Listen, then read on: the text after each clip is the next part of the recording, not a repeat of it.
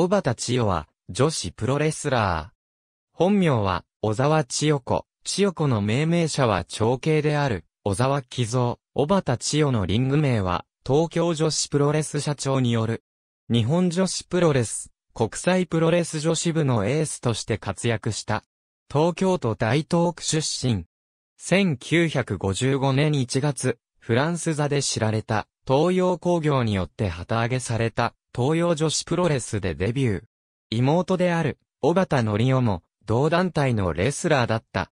1968年、当時、団体の分裂による、全日本女子プロレスへの戦力流出に悩まされた、日本女子プロレスの呼びかけに応え入門。エースに指名された。11月、ファビュラス村を下しは世界王座を奪取。この試合を東京12チャンネルが録画放映し24.4%とという当時の曲最高視聴率を記録している。姫解散後は休業を経て国際プロレス女子部に入団。桜照美とのタッグで王座にも君臨。1976年の女子解散まで活動した。1976年以降は桜と共にスナック、バー桜を経営。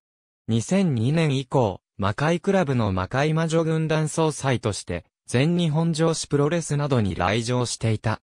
国際プロレス女子部解散以降は事実上現役を退いているが、正式な引退宣言はしておらず、インタビューでは永遠に引退はしないと思った。死ぬまで現役よと答えている。ありがとうございます。